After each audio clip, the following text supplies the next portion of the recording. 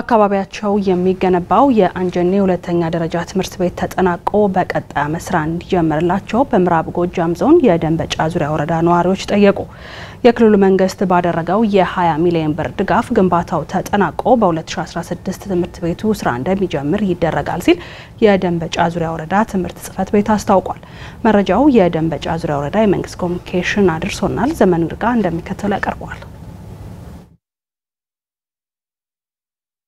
በምዕራብ ጎጃም ዞን ደንበጫ ዙሪያ ወረዳ አራት ሁለተኛ ደረጃ ትምህርት ቤቶች የሚገኙ ሲሆን እነዚህ የማህበረሰቡን ችግር የሚፈቱ ባለመሆናቸው ተጨማሪ ትምህርት ቤቶችን ለመገንባት እየተሰራ ነው። ከወረዳው ነዋሪዎች መካከል አቶ የግዛው ታደሰም ከዚህ በፊት አቅመ ደካሞች ልጆቻቸውን ወደ ሩቅ ቦታ ልከው ለማስተማር ይቸገሩ እንደነበር አውስተዋል።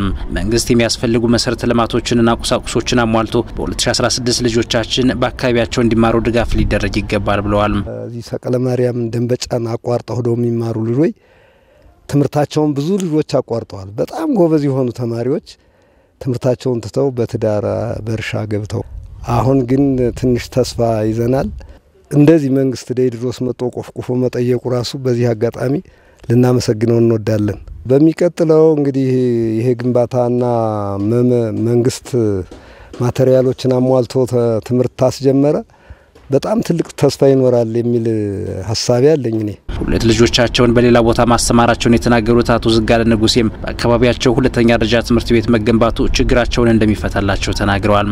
እኛም በጣም ችግር ስለደረሰብን ቀደም በወጭ በምን ይሄ ትምህርት ቤት ተገንብቷል እና አሁን ማህበረሰቡ ይህን ፍጣሜ ሲያይ በጣም ደስተኛ ሆኗል። ጥሩ ጥሩ ምሁሮች መጠውልን ልጆቻችን እዚህ ብናስተምር ማህበረሰቡ ከወጭ ቢቀርለት ወጩን ብዙ መጋቢ ነው እዚህ ቦታ ይሄ ዙሪያ መጋቢ ብዙ ተማሪዎች ወደ ደንበጫ ጭንቅንቅ ነው የሚያደርጉና ተማሪያችን ሌላ ቦታ የሚሄደው ተማሪ እዚህ ቦታ ላይ ተቀርቶ ያው ከወጭ ቢድን። የአንጀኔ የመጀመሪያ ደረጃ ትምህርት ቤት ርዕሰ መምህር ሞላ ዋጋው በአሁኑ ወቅት ሁለተኛ ደረጃ ትምህርት ቤት ለአካባቢው መገንባቱ ተማሪዎች ከቤተሰቦቻቸው ጋር ሆነው እንዲማሩ ምቹ ሁኔታ እንደሚፈጥርላቸው አስረድተዋል።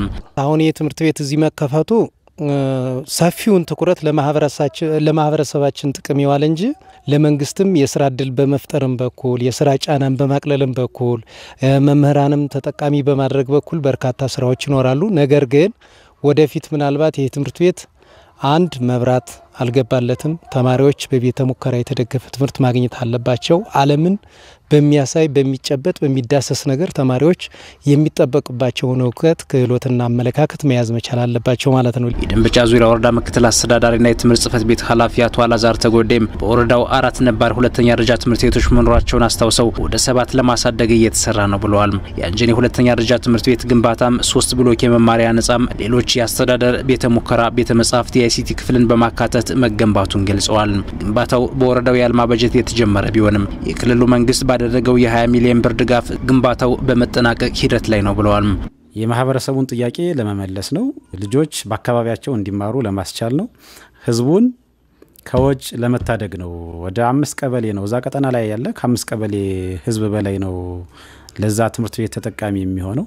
ይህንን ስናደርግ በየደረጃው ያለ ባለድርሻ አካል ቁሳቁሱ እንዲሟላ ጥረት ያደርጋል። የአካባቢው ማህበረሰብ የሚችለውን አድርጎ የሚችለውን ደግፎ ግብዓት እንዲሟላ አድርገን 2016 ላይ ትምህርት እንጀምራለን የሚል እቅድ ነው ይዘን እየተንቀሳቀስን ያለ እንደ ጽሕፈት ቤት። በወረዳው ከመንግስት ከአልማ ከቀድሞ ተማሪዎችና ማህበረሰቡ ተሳትፎ በ21 ትምህርት ቤቶች ላይ የደረጃ ማሳደግ ስራ እየተሰራ ነውም ብለዋል። 60 መማሪያ ክፍሎችን የያዙ ግንባታዎች ተጠናቀው በ2016 በጀት ዓመት ትምህርት እንደሚጀምሩም ነው ኃላፊው የተናገሩ።